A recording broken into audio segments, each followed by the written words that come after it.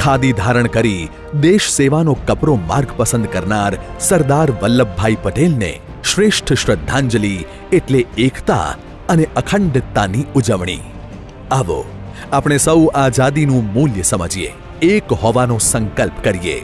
આપણે સૌ એક બનીએ નેક બનીએ અને ભારત માતા પ્રત્યે સેવામાં સમર્પિત થઈએ સરદાર પટેલની જેમ જેમણે એ સમયે પોતાની અઢળક રૂપિયા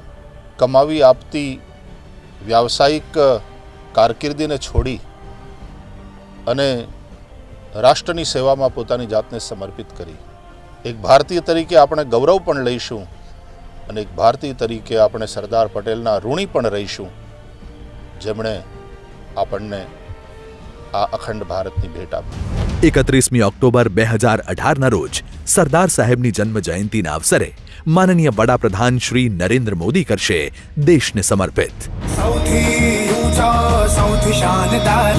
લોહા પુરુષ છે સ્ટેચ્યુ ઓફ યુનિટી અખંડ ભારતના પ્રણેતાને રાષ્ટ્રની સર્વશ્રેષ્ઠ શ્રદ્ધાંજલિ